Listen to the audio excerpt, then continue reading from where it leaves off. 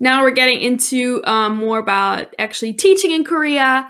Um, and I just want to start off with the qualifications because people are always like, you know, what do I need? Do I need to have a bachelor's in education or do I need to, you know, what do I need to have?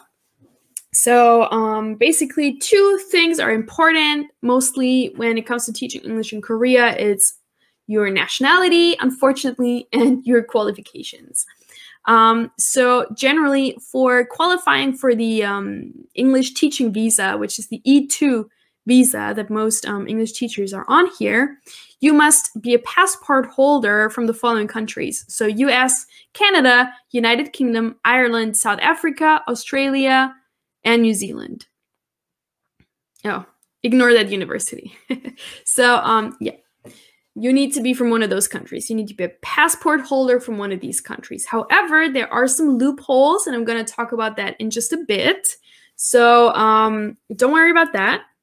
Then you also need to have at least a bachelor's degree, and um, a copy must be notarized and apostilled. So, um, but yeah, that's really, you can get that done very easily. But yeah, you need to have a bachelor's degree. But it doesn't matter which major. So it doesn't have to be in TESOL, it doesn't have to be in teaching, it doesn't have to be in English. It can be any major as long as you've completed four years of education. Um, yeah, so that's sort of what you need in order to get the visa. Um, so your bachelor's degree, the copies, they must be notarized and apostilled. And there's a lot of companies that do that. So an apostille is like a it's similar to a notarization, but like it's for international use. I think that's the difference.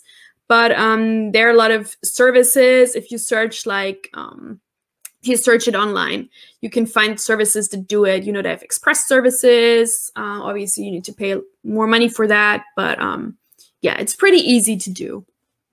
Some other requirements that you will need to get that visa are three sealed university transcripts you also need to get a clear criminal background check, and that usually kind of takes the longest to get. I feel like, especially now with all you know the public offices not really operating at full speed. Um, yeah, so you need to get like your fingerprints taken, um, and then send that in. For U.S. people from the U.S., it's like you have to send it into the FBI. You get an FBI uh, criminal background check. Um, has to be clean in order to get the visa. Um, yeah, you also need a passport photocopy. You need to present a resume. You also need to have a signed copy of the school contract, uh, four passport sized photos, and two letters of recommendation. Even though now that I'm thinking about it, I think I didn't have any letters of recommendation. So I'm not sure if that is still the case. Um, I don't know. But um, yeah, that's the general um, requirements or things, documents that you need in order to get your visa. But like before that, obviously, so you need to make sure like you have all of these things. You have your bachelor's degree, you know, prepare, get ready, and then um, once you have all of these things, you tick you tick all the boxes, you check all the boxes. Um, you can then move on to uh, applying for a job. Once you have that, they will give you the contract, and then you can usually you can basically do like the final steps of going like, to the embassy and you know presenting all the documents, and then you get your visa. So that's that basically. Thanks so much for watching.